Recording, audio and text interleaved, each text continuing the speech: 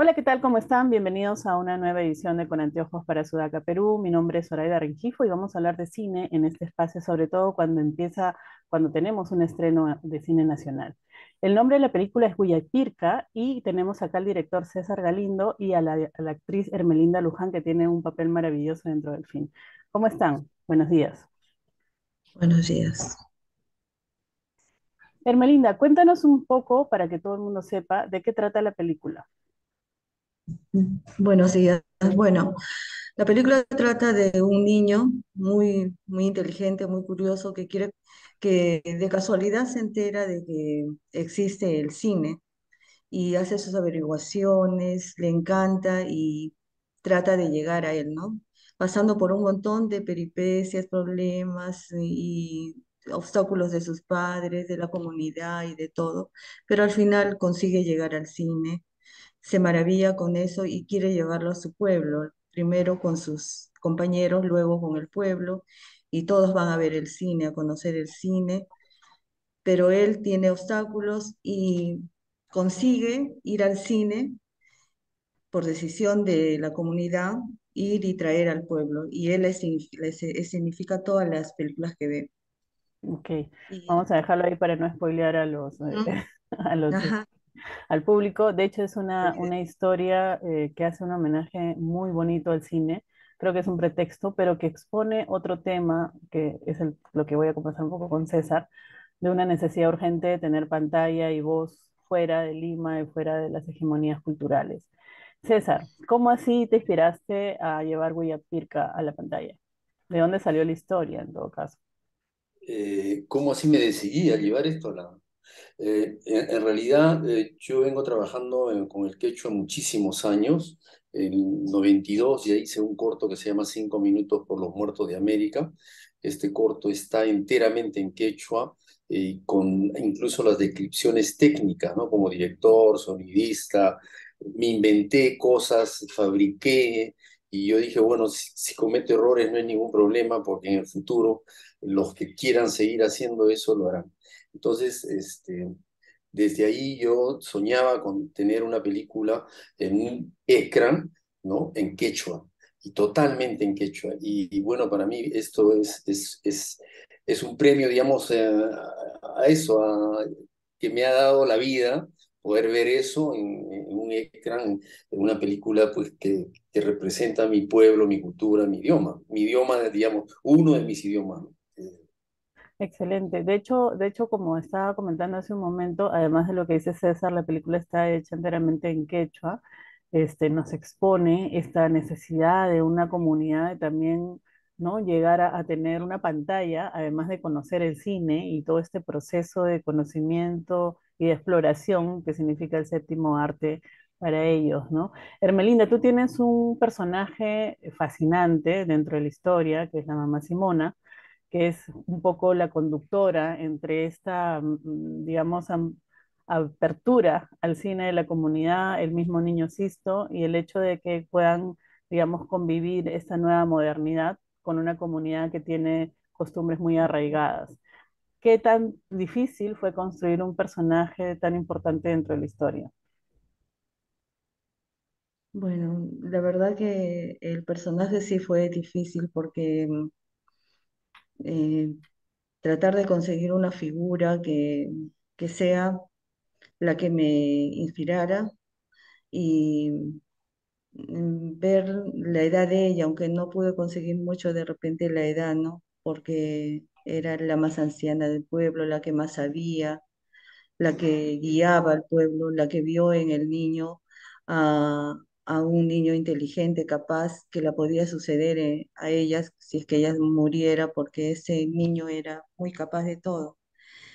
Em, y con la ayuda del director y, y del, de, de tratar de construir mi personaje, por eso yo creo que fue, sí fue muy difícil y fácil también porque parece que te ilumina la mamapaya, que te ilumina todo y te sale un personaje más o menos. Me hubiera gustado de repente, de repente debe haber muchas fallas, ¿no? Pero el director lo dirá. Yo No, creo, yo creo, estoy antes de, de ceder la, la palabra a César, este, dentro de mi punto de vista y lo que hemos podido comentar muchos críticos, que es un trabajo muy bien eh, hilvanado a nivel de los elementos, ¿no? O sea, tanto visual Creo que hay una fotografía destacable de, Juan Durán, si no me equivoco. Hay un trabajo de sonido que es muy, muy, muy bonito, muy bonito, muy delicado, pero también de actuaciones. Y hablamos que, claro, la figura que un poco destaca porque se nota que ya hay mayor este, experiencia en el tema actoral es la tuya, ¿no? Sin desmerecer todas las demás que han tenido una naturalidad muy orgánica, muy creíble, cosa que a veces es difícil y creo que es un trabajo de César. Cuéntanos un poco cómo fue el tema del, trabajo de actores. Bueno, eh, parcialmente vivo en Suecia y Suecia, al igual que los ingleses, tiene una tradición de teatral muy grande. Tiene muy grandes actores. No te olvides que de ahí viene Erland Josephson, viene Vivi Anderson, viene una serie de grandes actores. Entonces, yo soy un amante de- del teatro y, y Suecia en cierta manera me ha impregnado la obligación de sacar lo mejor de los actores. Entonces, esa, esa experiencia, eh, digamos, aunado al, al talento de, los- de las personas con las que he trabajado, hemos, hemos logrado, digamos, esas actuaciones. Porque en general me interesa sobre todo ver la actuación de los actores, que se entienda que en quechua se pueden tener actores actuando, memorizando textos, ¿no? Porque Normalmente, a veces en, en- en el quechua se, se tratan de frases cortas o esporádicas, digamos, que a veces eh, pienso que están incluidas porque, porque hay que incluirlas, ¿no? Pero en mi caso no, yo quiero que sean realmente actores, que sientan, que vivan sus personajes, ¿no? Entonces ese trabajo lo hemos hecho en conjunto, grandes actores como Hermelinda o, o Víctor o los niños, y eh, eso se ha logrado, digamos, en base a a eso, a esa comunicación entre ellos, yo digamos. Entiendo que además esta película estaba prevista para salir antes, ¿no? ¿Cuánto fue el trabajo previo, o sea, la, la preproducción o el trabajo de actores, eh, digamos, este, construcción de personajes? ¿Cuánto te ha durado esta trayectoria hasta que podamos decir que el jueves 8 ha sido llevada por fin a la pantalla grande? Mira, el, la verdad, la honestidad, eh, como yo oh, vi- vivo, vivía más en Suecia por razones de mis hijos, mi familia, entonces yo vine en realidad un mes, creo que un mes y medio antes de la, del rodaje, y, y en general eh, la, las actuaciones, o sea, el trabajo con los actores los hacíamos un día antes del rodaje. O sea, todas las noches nos reuníamos y, y discutía la- la- con los actores las intenciones o, o cómo debían de llevar sus personajes, ¿no?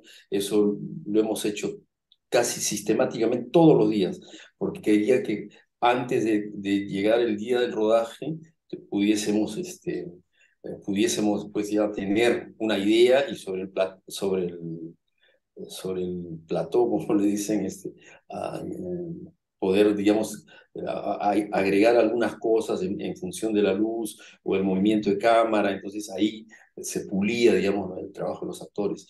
Pero en general no hemos tenido una preparación Wow, con aún, aún más. El Melinda creo que llegó dos días antes, tres días antes, porque no había, no había Mamá Simona, no había la loquita Loberta, no había el, el boletero, o sea, hay cosas que se han trabajado, eh, pero digamos, eh, que se han tenido que resolver en el momento. Ahora yo pienso que también influye mucho mi trabajo como documentalista, porque en el documental tú tienes que improvisar la realidad, tú tienes que capturar la re- realidad del momento e improvisarlo. Entonces, en este caso, lo que se ha tratado es sacar lo mejor de cada uno de ellos. Bueno, y de hecho, de hecho ha funcionado. En el caso de Hermelinda, volviendo a su personaje de Mamá Simona, mm, eh, de hecho, cuando, para el público en general, cuando vayan a ver la película, hay una relación que se nota en pantalla muy, muy poderosa con Sistu, ¿no? El pequeño. Este, y entonces me dices que dos días antes de la grabación llegó Hermelinda y yo pensaba que había sido todo un proceso, que los dos se vayan conociendo, entrar en una sinergia y una No, química. tan- ¿Cómo fue Mira, Hermelinda? mira, es Melinda que diga cuántos días antes llegó, porque yo no me acuerdo exactamente, pues de repente estoy falseando, de repente son tres días antes, pues no me acuerdo, pero fue, eh, o sea, no teníamos ni el papá, ni Hermelinda, ni, ni el boletero.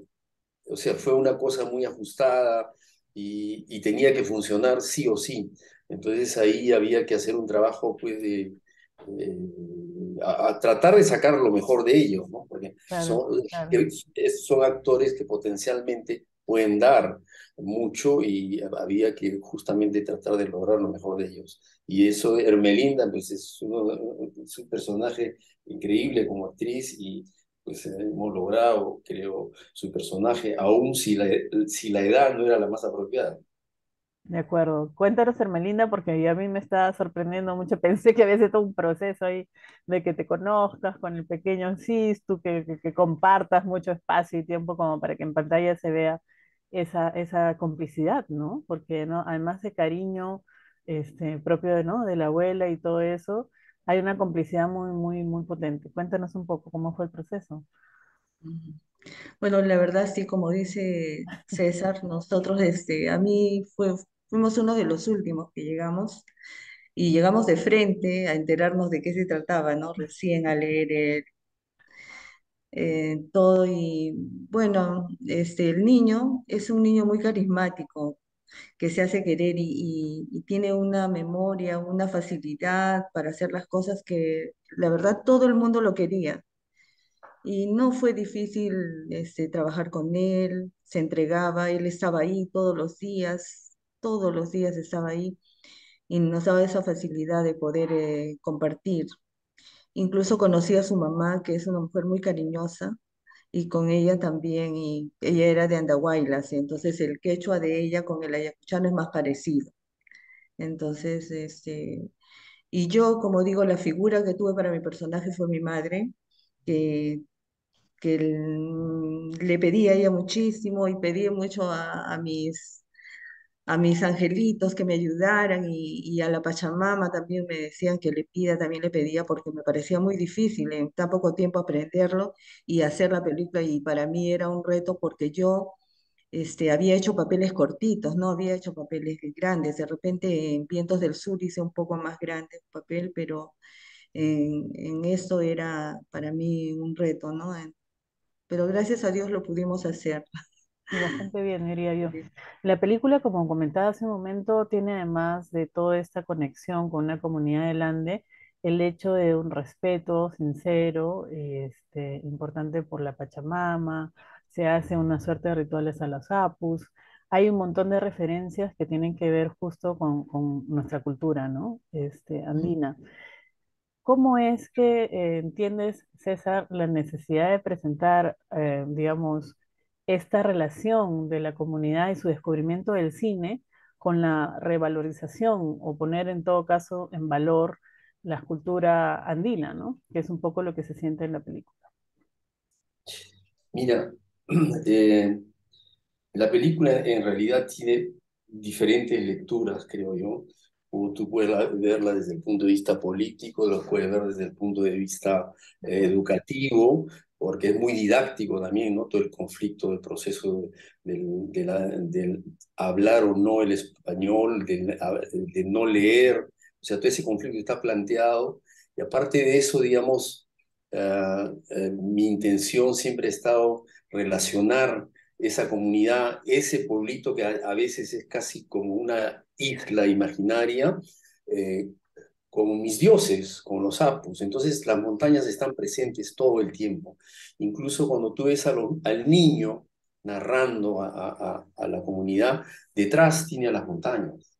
¿no? Son los dioses que lo están soportando, que lo están, lo están agarrando, que lo están ayudando, que le están diciendo, haz lo que tienes que hacer para tu comunidad, para tu... O sea, es una metáfora también uh, a la necesidad de, de, construir nuestra historia, ¿no? A partir de nuestro idioma, uh, escribirla con nuestras propias manos, sentirla con nuestros propios corazones, eh, mostrarnos con nuestros propios colores, nuestros propios sentimientos, nuestras tristezas, y, mostrarnos como seres humanos. Esa es, esa es, eso es, digamos, la idea con la película.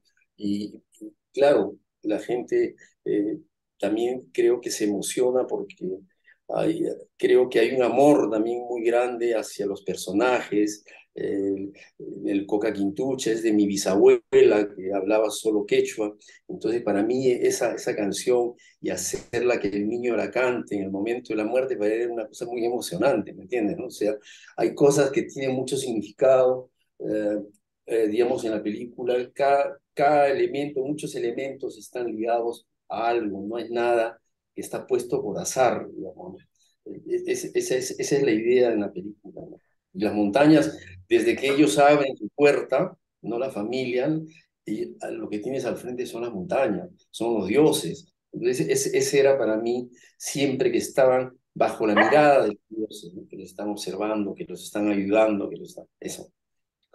Es eh, además eh, una hechura, como siempre digo, donde se nota que hay alma y corazón, ¿no? O sea, todo lo que estás mencionando, hay una transmisión en pantalla de, de toda esta forma de haber hecho la película desde el corazón.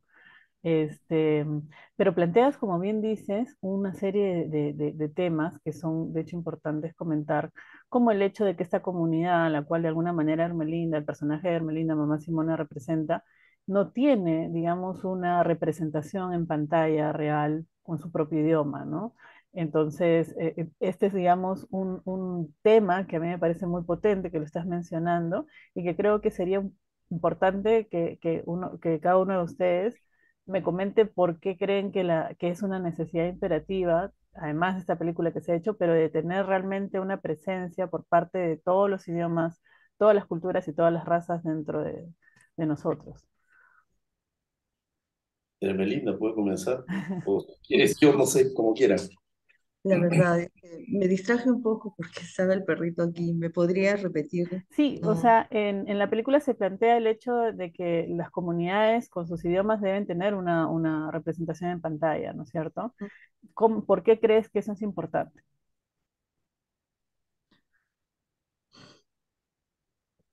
Bueno, porque se debe revalorizar el idioma, yo pienso.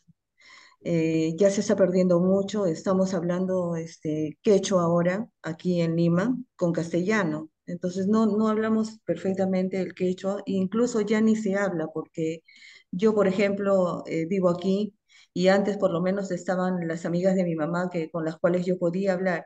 Ahora ya no hay, las viejitas ya no están y, los hijos no hablan, entonces uno no puede ni comunicarse y para poder tener este idioma hay que, hay que practicarlo también, ¿no? Entonces, si no tienes con quién conversar, no hay cómo hablar. Yo pienso que, que sí, debería de haber para que haya más comunicación también. Cuando tú vas a, incluso a la sierra, ya no hablan quechua, hablan castellano. solo en las chacras puedes conseguir en pueblos lejanos de repente. De acuerdo, Sí, es una, es una. Y otro tema, entre otros más, como bien menciona César, es el hecho de este conflicto entre lo antiguo y lo moderno, ¿no? O sea, el hecho de preservar la comunidad, que lo que está comentando también a Melinda, de, de este padre que no quiere que su hijo se vaya porque ya se fue al universitario y no volvió y abandonas la chacra, esta forma de vida que está un poco ya en cuestionamiento frente a la modernidad y a todo un sistema, digamos, capitalista, ¿no? Un sistema económico que de alguna manera va absorbiendo estas pequeñas formas de producción. ¿Cómo, cómo, este, cómo crees o cómo llegaste en todo caso a plantear o cómo ves tú esta contradicción, este conflicto que también se ve? Eh, mira, eh, primero, para mí, digamos, la necesidad de que haya una película en quechua es porque es, digamos, una neces- necesidad básica del ser humano. Una necesidad básica del ser humano de expresarse en su propio idioma, a partir de sus propios valores y de su propia cultura. Esto no lo digo yo, lo dice la Carta de las Naciones Unidas, ¿no es cierto? Entonces, eh, fundamentalmente, cada persona para poder eh, expresarse al 100%, para tocar todas las fibras que uno tiene como ser humano, tiene que hacerlo aparte en su idioma. Si yo te digo a ti, piensa en inglés, eh, abstráeme en inglés, eh, se te va a hacer difícil si lo hablas, aún si lo has aprendido, si lo has estudiado, porque entrar en una cultura no es solo el idioma, so, hay otra serie de valores. Entonces, para mí es fundamental el respeto hacia el otro, el respeto a, la diferencia, el respeto a que tenemos el derecho a existir con nuestros propios valores. O sea, no es, nada, no es ni siquiera chauvinismo, no es ni siquiera pensar de que el español debe desaparecer. No, yo pienso que nuestro país es un país tan rico donde tenemos el quechua, el aymara, tenemos otra serie de culturas que deberíamos de preservarlas y deberíamos de guardarlas porque eso forma parte de nuestra riqueza cultural. Así como estamos orgullosos del ceviche del norte, del sur, de la sierra, de no sé cuántos, o estamos orgullosos de Machu Picchu, de, de Caral, de la misma manera deberíamos de estar orgullosos de nuestros valores culturales, de nuestro idioma, ¿no es cierto? Y además es una lengua maravillosa que habla en metáforas, que habla en poesía y de repente a partir de eso también la película está inspirada en las metáforas, está inspirada en, símbolos, ¿no es cierto? Los símbolos de las montañas y que la agarra y que el pueblo y que se enfrenta. Entonces las contradicciones, todo eso viene probablemente de eso, de eso que es tan profundo el quechua. Además yo creo que es importante, o sea, mostrar... Eh, o sea, yo creo que en el Perú tenemos de lo, de lo inca, de lo andino, de lo más profundo, de repente unos un 1%, otros 10, otros 20, otros 30, otros 100%. Pero todos tenemos algo en el fondo. Y ese poquito, ese mucho, quiero que se reconozca, que se vea, ¿no? Y diga, ah, tenemos de eso muy profundamente. Esa es mi esperanza y que pues eso nos sirva ¿no? Para que en nuestro país se desarrolle mejor, porque yo entiendo que si los niños estudian en su idioma, van a la universidad en su idioma y son bilingües, esos niños van a ser pues inmensos, nuestro país va a ser grande como sus montañas, esa es mi esperanza. De acuerdo, totalmente. Bueno, este, para ir terminando, esta película tan linda que ya está en cartelera, ya tiene una serie de reconocimientos, este, como mencioné hace un momento, eh, tiene además una factura muy, muy cuidada. Ha dicho César que cada detalle tiene, tiene un significado pero además la fotografía es notable. La fotografía de Juan Durán, que es una, persona que tiene mucha trayectoria en el cine nacional y que hace poco nomás ha sacado un documental maravilloso. También está Karen Zielinski en la banda sonora, si no me equivoco, que viene realizando un trabajo en las últimas películas destacable y notable, por mencionar a uno de los profesionales importantes que están dentro de la parte técnica. Cuéntanos eh, rapidito, César, un poco de los reconocimientos que ya Pirca ha logrado. Eh, mira, la verdad que yo, para mí los reconocimientos mayores es sobre todo los de la gente que ha ido a ver la película y escribe sus emociones, ¿no? Porque digamos, para mí ese es el reconocimiento más grande cuando escriben que fui a ver la película y lloré, ¿no? Y, yo también a veces cuando veo la película lagrimeo en algunas escenas, ¿no? Porque a mí mismo me conmueve ver la relación entre entre la abuela y el niño cuando le ofrece. Ya me emocioné ahora, ¿ves? bueno, este, eso, eh, esas, son, esas son las menciones que para mí tienen mucho más valor que las menciones, y por supuesto de, de los periódicos, y sobre todo, como siempre digo, para mí esta película es un pretexto es un pretexto para hablar sobre esto, sobre lo que tú me estás planteando, sobre lo que tú me estás preguntando, sobre la necesidad o no del quecho. Eso es, eso es lo más importante para mí. El pretexto es esa película que sirve como un elemento, digamos, este, de, discusión, ¿no? Que puede plantearnos y, de repente puede encontrar y reconocer ese conchito del 1% o el 10 o el 20 o el 30 y que y podamos respetarnos los unos a los otros. De acuerdo, totalmente. hay que diversificar la pantalla, chica, grande, todos los espacios para que nos podamos reconocer y valorar a nosotros mismos. Eh, bueno, y para terminar, no sé quién de los dos quiere invitar al público a que vayan al cine y decirnos por qué además tenemos que ver Pirca. El Melindo, por favor. los honores. Bueno, por favor, vayan al cine, vayan a ver esta película, vayan a, si la gente es de allá, de la sierra, vayan a recordar sus, sus tiempos bonitos, vayan a, disfrutarla, a alegrarse, a divertirse, porque es una película en quechua eh, feliz, para que la gente se vaya contenta.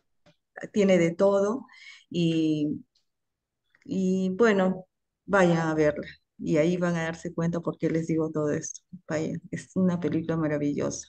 Gracias este, a ustedes, gracias este, señor Galindo por haber hecho una película tan bonita.